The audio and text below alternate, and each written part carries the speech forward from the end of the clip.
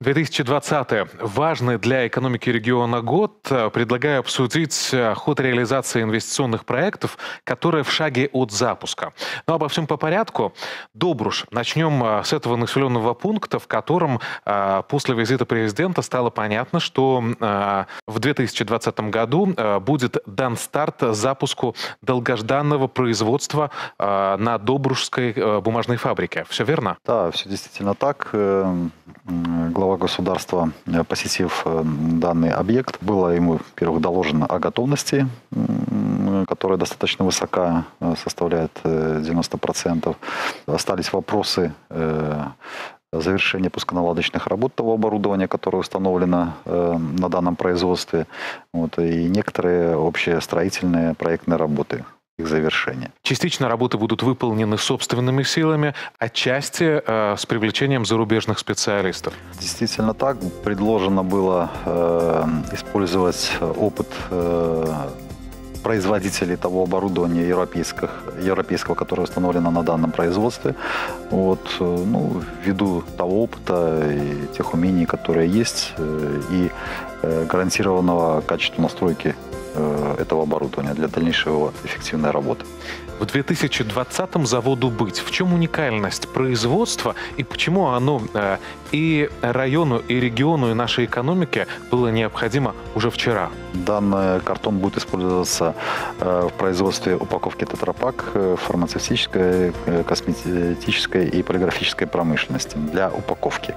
То есть вот. это импортозамещение, с одной стороны, говоря про спрос у наших предприятий, но это планы на экспорт. Ну, достаточно Данное большая. предприятие будет у, и продукция уникальная для Республики Беларусь.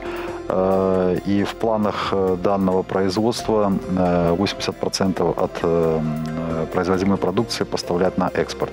20% пока закрывать, скажем так, внутренние потребности внутреннего рынка. Объемы выручки, планируемые от реализации данной продукции в год составят порядка 240-250 миллионов долларов США. И если говорить э, про необходимость э, производства для самого населенного пункта, то речь и о новых рабочих местах, и о зарплате совершенно другого уровня.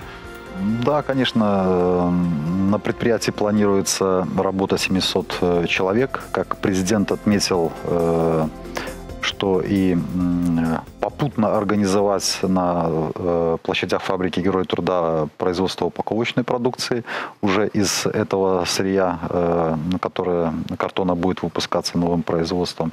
Вот. То есть это еще будут какие-то некие дополнительные рабочие места. То есть, ну, скажем, плюсы, они есть. И еще один инвестпроект с не самой легкой судьбой, говоря про запуск производства. Я сейчас о Светлогорском целлюлозно-кордонном комбинате.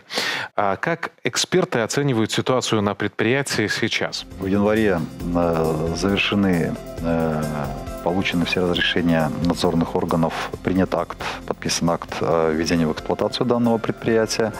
А вот предприятие уже, в принципе, э, начиная с 2019 года э, работает в режиме пусконаладочных работ. Вот, то есть выпускается продукция, которая, в принципе, реализовывается э, на внутренний и на внешний рынок. Следует отметить, что данная продукция является также экспорт-ориентированной, то есть 80% реализуется на экспорт. Ну и достаточно высокорентабельной продукции, пользующейся спросом. Еще о внутренних инвестициях и еще один пример в тему – Петриковский горно-обогатительный комбинат. Как понимаю, в 2020-м и он даст первую продукцию. Да, все верно. Проект э, находится на завершающей стадии своей реализации. За три года, начиная с текущего года, планируется выйти на запланированные мощности. Это производство пол, полутора миллиона тонн хлоркалия в год. Все мы уже, в принципе, знакомы с этой продукцией э, на основе работы Белорускалия в Минской области. Вот. Теперь такое достаточно мощное производство э, не только для Петриковской или Гомельской области, а для Республики Беларусь. Производство будет расположено у нас в регионе. На данном производстве э, планируется задействовать порядка 2000 человек. Вот, э, соответственно, если это умножить на их семьи, то это достаточно значительная цифра для Петриковского района. То есть помимо второго по величине месторождения калийной соли в Беларуси, регион получит еще и серьезный экономический рост. Я и про Петриков, и про ближайшие районы.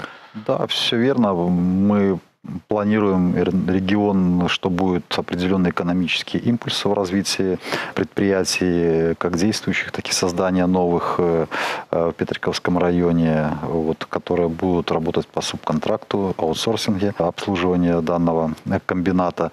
Вот, соответственно, это развитие сферы услуг на этой территории. Ну и, в принципе, если э, пять лет назад и сегодня посмотреть на Петриков, то это совершенно другой город. Конечно, я думаю, что преобразование будет, э, ну, скажем так, громко, не громко, значительное, вот, поскольку предприятия и производство не маленькие. Андрей Петрович, спасибо за это интервью. Успехов в делах и до встречи в эфире. Спасибо.